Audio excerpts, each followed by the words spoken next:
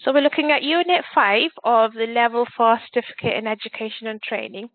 Unit 5 is planning to meet the needs of learners in education and training. And there's four learning outcomes on here. And it's all about, um, we've covered this in Unit 4 quite a bit. It's about um, your initial and diagnostic assessment. So it's quite based on that for learning outcome 1. So learning outcome one is to be able to use initial and diagnostic assessment to agree individual learning goals with learners. Learning outcome two will be be able to plan inclusive teaching and learning in accordance with internal and external requirements. So you need to do a scheme of work, which I'll give you a template for, and um, I'm pretty sure you're doing a, a lesson plan in here as well. Okay. Learning outcome three is to be able to implement the minimum core in planning inclusive teaching and learning, which we come across so many times already, but it, yeah. obviously just change it slightly. And then learning outcome four, be able to evaluate your own practice when planning inclusive teaching and learning. So they've got a nice pattern that they go through for all of these units. So we're going to do analyze the role and use of initial and diagnostic assessment in agreeing individual learning goals. 1.2 use methods of initial and diagnostic assessment to negotiate and agree individual learning goals with learners. And then 1.3 is record learners' individual learning goals. Goals, not clothes. oh dear. Let's start. So again, just as a quick recap, initial diagnostic, uh, uh, initial assessments are there to help you find out what your learners actually know, what they are, you know, identify any aspects which um, might go unnoticed, have a conversation with them, find out about what their, you know, backgrounds are, what they've actually learned. So it's just about you getting to know the learner mm-hmm. themselves. It might be that they've got quite a disruptive background where they can't access, um, where they've got issues, family issues, and you know that they might be bringing in work late or they might have to work in the uh, setting. It might be that they don't have internet access and they may need to access the library or be given a bit of leeway. So just think personally about them. Initial assessments are good for that. Okay. Diagnostic assessments are good just to know what your learner skills are, what their knowledge is, what their strengths are, and if there's any areas that they can develop. So it's more on their uh, skills and uh, learning on this section. So 1.1, analyze the role and use of initial and diagnostic assessment in agreeing individual learning goals. So when we're looking at um, initial and diagnostic assessments, how do we use it and what is the role of this? So the role of both of these initial and diagnostic assessments are just there for you to establish a starting point so that you know where your learner is actually starting from, what their base is. This will help the learner and also the teacher to agree on SMART goals so you can agree on um, and create different individual learning plans for them, things that are actually realistic and specific for each learner. So having a group of 10 learners and you all deciding, oh, we're all going to work on the same SMART goals, that's not going to work because it might not be applicable to everyone. So this helps you to do it individualized and make it unique for each person. Initial assessments, um, again, they'll just help you, you probably know all this as well from our previous unit. They help you to identify your learner's prior knowledge, what their skills are, and also to assess the suitability of what program they're on. So can they come in and do this? If they were coming on to do one of my healthcare courses, can they come on and um, are they suitable to learn the healthcare program? Are they on the correct level of study? If they're coming in and they're going to be doing the level, uh, they need to do assignments which require a high level of um, understanding of English. Have they got that uh, uh, capability to be able to carry out and write assignments? If not, then you'd put them on a, a lower level of study, say level one or a level two, and work them up from there. So it helps you to uh, get information for what sort of delivery you're going to be using as well, because you might need to tweak it. You might have a quite a nice, highly informed group where their level of knowledge is uh, quite well. They've been working in a particular sector. Like yourself, you've been working in education for a number of years, so you've got a very good understanding of what goes on in school.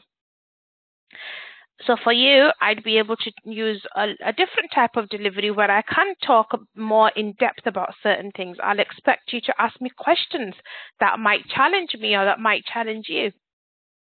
With somebody who's uh, completely fresh off the boat and is just thinking about coming into education, I might need to tweak the way um, I tell them. I might need to explain certain things that they may not know what assessments are what happens at the beginning of a school year, how you support someone, what interventions are. So it changes the way you actually deliver your um, courses out as well. So in a nutshell, it gives you a baseline, so a starting point for your learner. It helps you to put special conditions in place. So you know, is there something that you need to be adapting for? Do you need to make sure that you're giving somebody extra time because they've not got internet um, at home? Or have they got any learning requirements that you need to adapt for? Now, if you from here, for recognition of prior learning, for example, if you were to go on to the next level of study, you're on level four now, if you were to go into level five, there might be some units that you won't have to do because you've got something called recognition of prior learning because they can be cross-referenced to um, other units and so on. So, what sort of, can they miss certain things out? Do they have to do everything from start to finish? And what the suitability of them is to be on that program. Is that okay? What we've gone over uh, for initial yes. assessment? Yeah. Yes. For diagnostic assessment, this is just like a pre-assessment. It helps the educator to figure out what your students' strengths are, what their weaknesses are, what their knowledge is, and what sort of skills they got prior, so before starting this course. So they also help you to figure out what sort of learning support needs there are, any gaps and any skills, help to meet basic skills and minimum core, and also to figure out the preferred learning style. So, what does your student best learn with? Do they like to be a visual learner? Are they more of an auditory learner? And so on. And then you look at your learning goals. Now, we've not looked at learning goals previously. We're going to be looking at them now. Mm-hmm. Now, learning goals, I'm just going to read through this because it's the best way to explain. So, learning goals are the knowledge and abilities that students gain from training or education. Now, these learning goals are designed to show the value of a learning program, of a session, of an exercise, or an activity that they're doing. And they're typically expressed with action verbs that illustrate what participants will be able to do or demonstrate upon completion of learning. So your learning goal, your learning objective is the same as what we've got here. So if I go back onto what this is here, we've got our learning goal is be able to use initial and diagnostic assessment. So for us, that is our learning goal.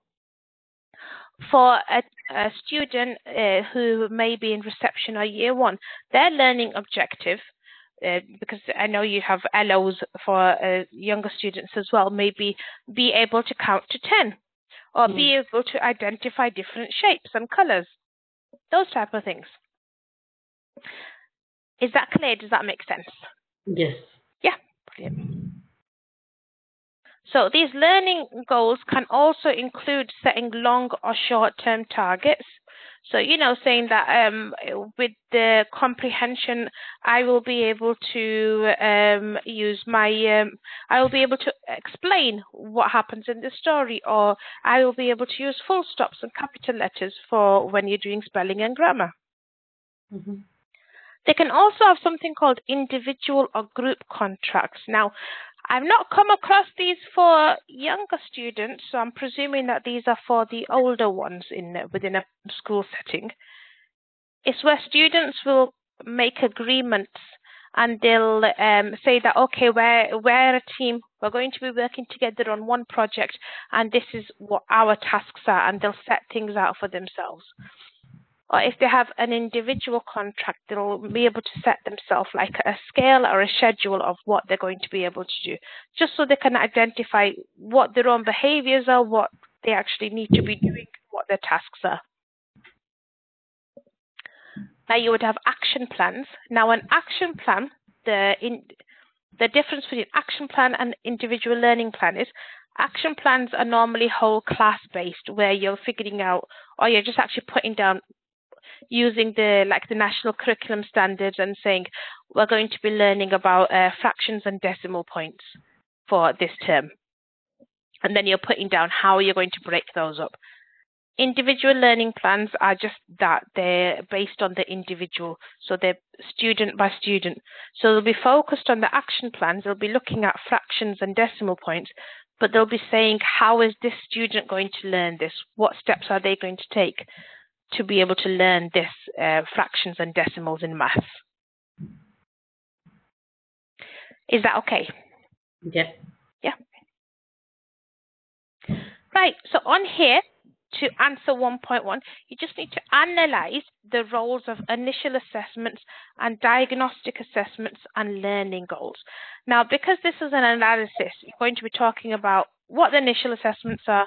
It's quite similar to what you've already done. So look in your previous work. If you've already written down what initial assessments are, diagnostic assessments are, just copy and paste that into here Mhm. and then put in a section for learning goals.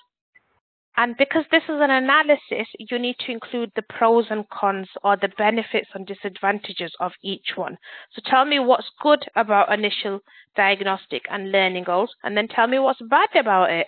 So, Mhm. you know, what can you see that is uh, disadvantageous about these things?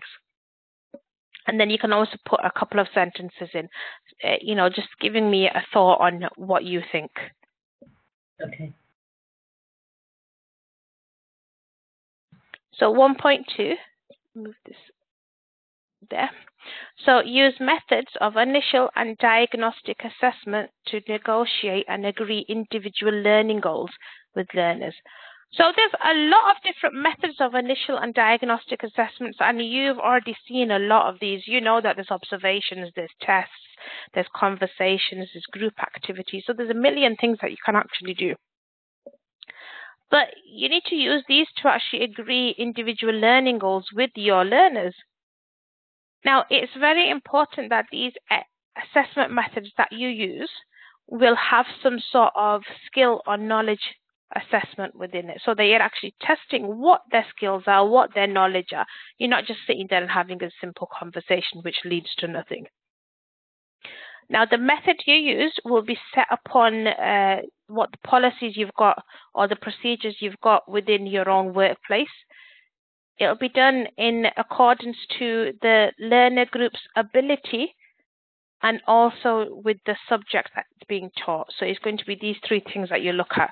You look at the policies you've got at work, what procedures you're going to be following, who you're actually looking at, uh, what is their understanding? Are they um, an SEN group? Are they a, a mid-level group or are they a high-level group? And then what topic are you teaching?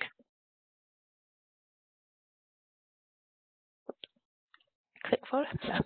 So these methods, and you've probably have come across these before, they include things like interviews, multiple choice question answer, and not all of these are age appropriate, so you'd have to decide which ones are age appropriate for your students. Mhm. Quizzes, computerized tests, practical tests, written assignments, discussions, verbal and non-verbal communication like observations and conversations, and questionnaires.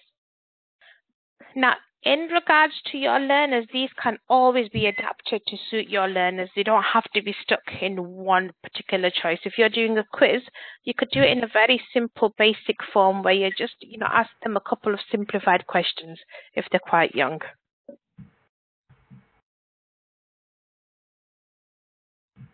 Within this as well, we also use English, maths, and your learning preference tests as well.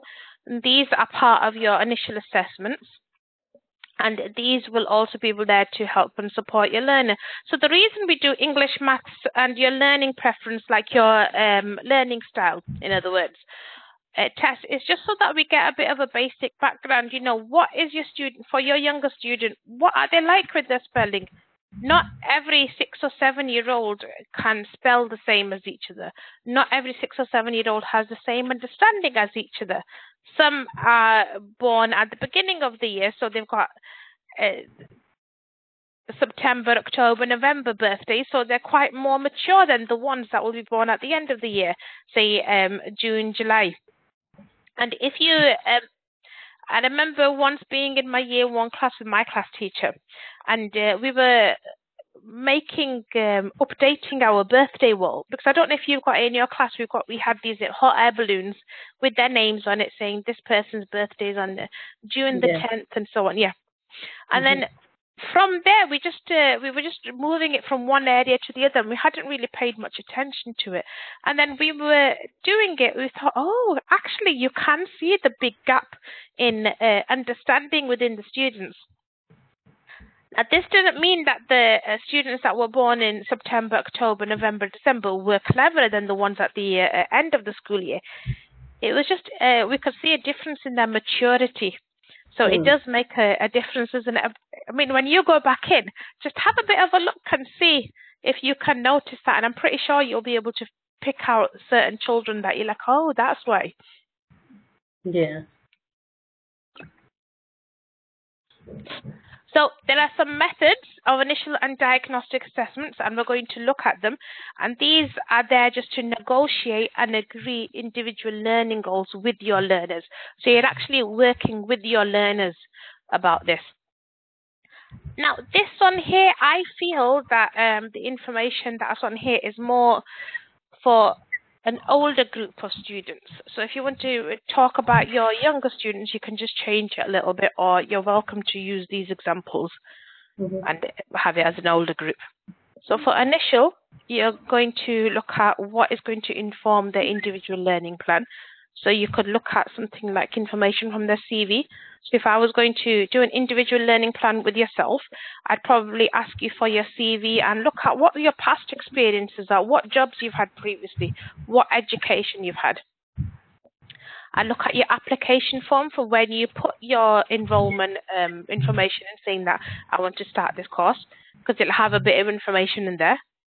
We might do an interview. So instead of an interview, uh, I'd say this would be the induction for us where we had that discussion over uh, join me and we just went through the course and we talked a little bit.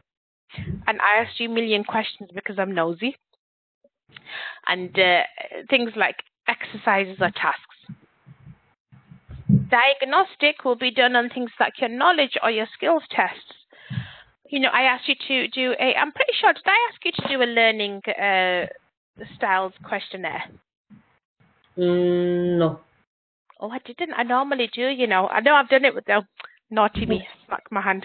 But I normally do a, a learning styles questionnaire just to see what sort of style you're on. Uh, So I can tweak my lessons in accordance to that. We could do paper or online diagnostic assessments. With the diagnostic assessments that I do, I really just use your uh, written assignments that you send in to me just to see how you're going and um, go. So it could be your actually your essays and your coursework that you're looking through throughout the uh, course of study. Mm. And then negotiation. There'll be like things like self-assessment. You might carry out a self-assessment for yourself. We might have a discussion.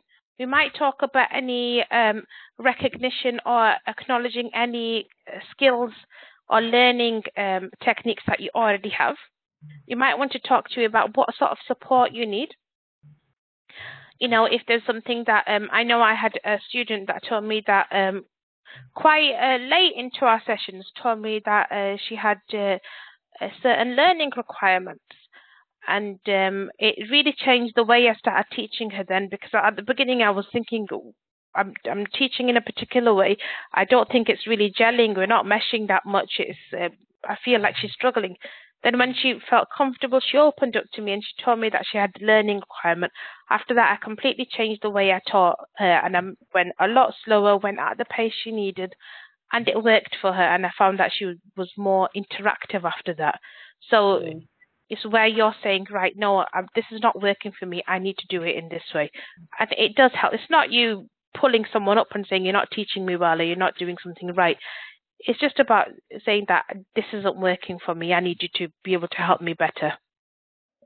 Mhm. So there's loads of things on here. I mean, uh, when you were in, um, when you were doing your TA qualifications, did you physically go into a college to do those? Yeah. The level two I did. Yeah. Do you remember when you used to have appraisals like twice a year, where your Mm. tutor would? Uh, yeah, those are the same sort of things. They'd appraisal, they'd have an appraisal with you. They'd see how you're doing, and then ask you how are you getting on. Do you need any assistance? Can we change something? And I remember when I used to have my appraisals when I was doing my TA courses, because that's the first time I actually came across them, to my knowledge, or the first time I was actually aware of them is that I'd Mhm. be like, yeah, I'm okay with this, but sometimes I feel like I might need a bit more information about this, and we'd agree on some learning goals. Mhm. Whatever you agree on, whatever your goals are, they still should follow SMART. So be specific, measurable, achievable, realistic, and timed. So if you're going to say, Afsha, I want you to go ahead and I want you to do a assignment for me, and you give me a six-week schedule, that's too long. I'm going to ignore it. I'm not going to be bothered about it. I'll be like, ah, it's all right. If I'm telling, if you're telling me, oh, you've got two weeks to do it, I'll be like, right, I need to get onto it because it's going to take me a little while to finish it off. So I, I know that I'll actually do it. So don't be too tight with your timing and don't be too loose with your timing. Mhm. I've never actually had to say to you that you've got two weeks for this, but normally my timing for uh, all my students are you've got two weeks, you need to give me your assignments within, from our last lesson, within two weeks. But we've worked at a different uh, rate where we've not had any gap. We've just been, because you've been keeping up on a weekly basis, uh, we've been able to just do lesson by lesson per week. So you adapt in um, accordance to what your student can do. Okay. So, how to answer this? Just talk about uh, how you use different methods of assessment. So, how do you negotiate with your students?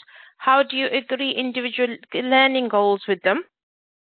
So you you can talk about how you use initial, um, just like one paragraph, just mentioning that you use initial and diagnostic assessments, and you negotiate with your students, and um, how you actually um, use these assessment techniques to just figure out what sort of goals your student needs and talk to them about it.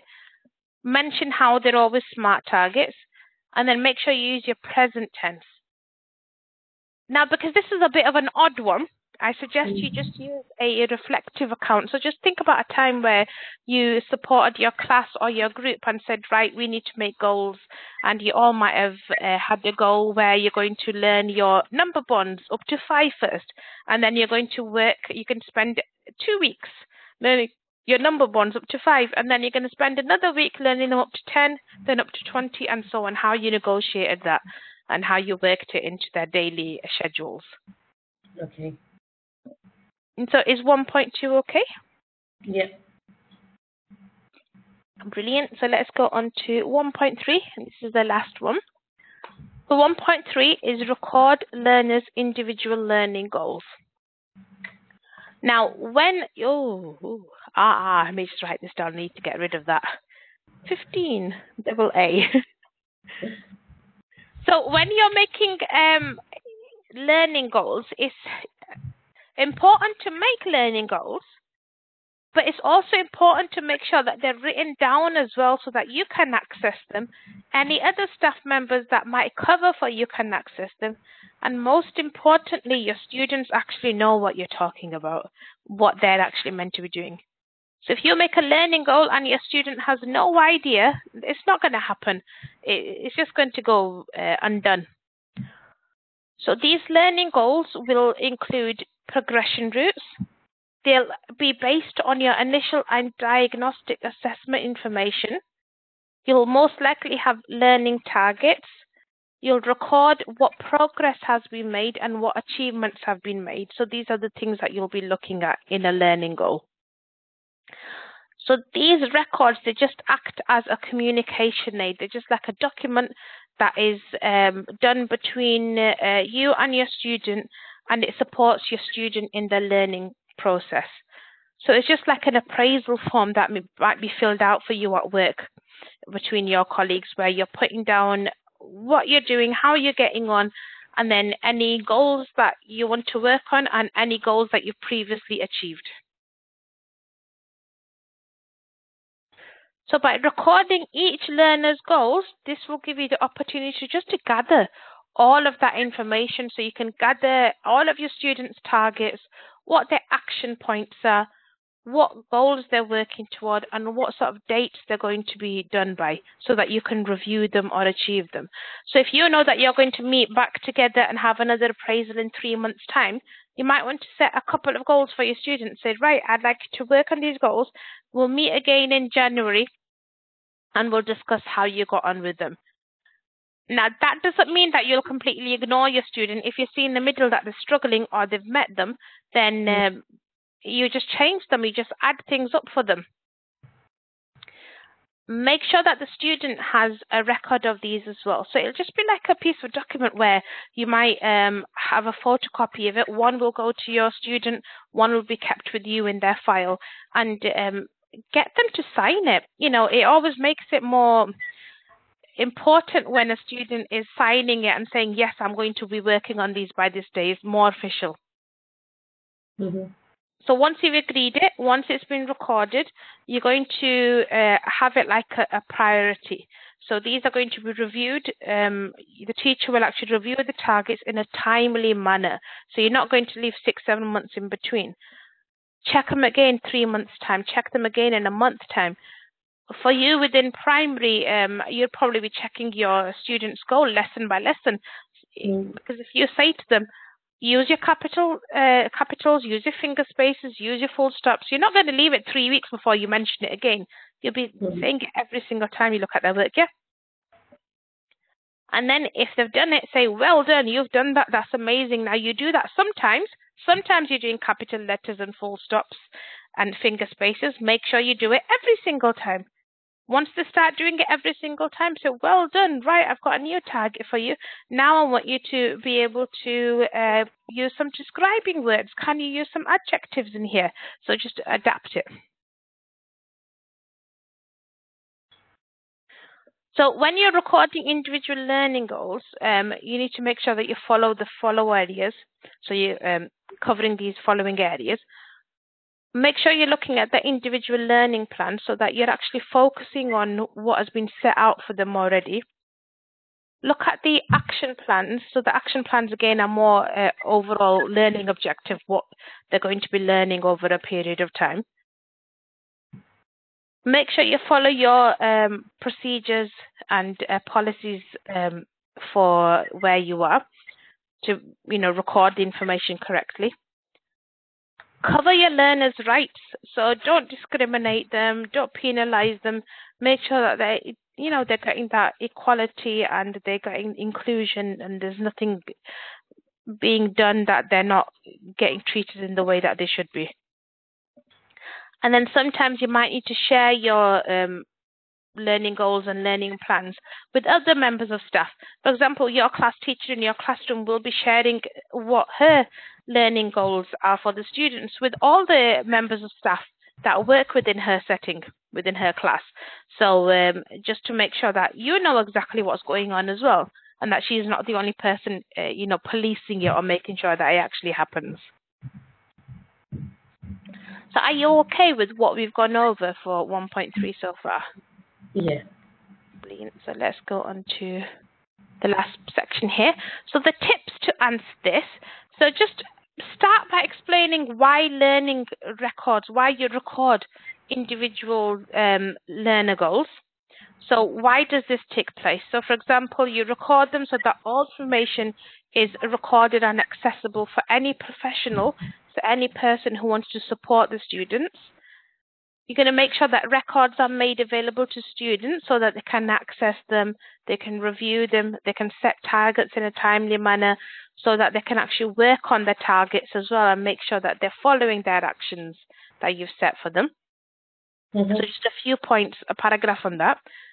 And then just explain how this is done. So you just follow your individual learning plans.